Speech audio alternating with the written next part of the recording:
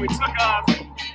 First one, we uh, ran by a dorm around CU's campus. I live here, so we went there, and then we saw VIP ticket to Chautauqua. Looking up, they slide around in Boulder.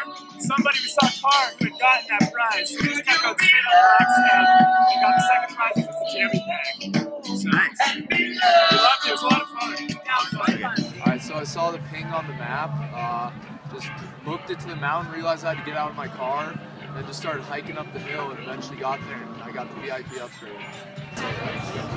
Won four tickets, found on a scavenger hunt, found it with DU campus. Go next. So we did, we got the prize, and then we went to the, the tour and drank a bunch of beers, you know. So it all worked out. Fucking Hell yeah. so excited. So what'd you get? You got the Gregory backpack, Yes. And then you got tickets to next year's the Bluegrass Festival over in Vail. Best time of my life, my last singleness, and his last. So this is actually her bachelorette party here. In the And back. he, woo! His bachelor.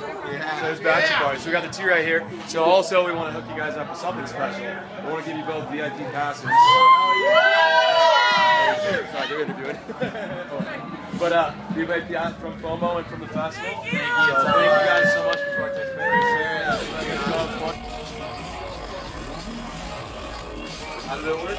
It's like you have an app on your phone and you go up and uh, when you get to the place you have to push if it's like echo or something and then you get to the different Oh, it's like a, sort of like a scavenger hunt.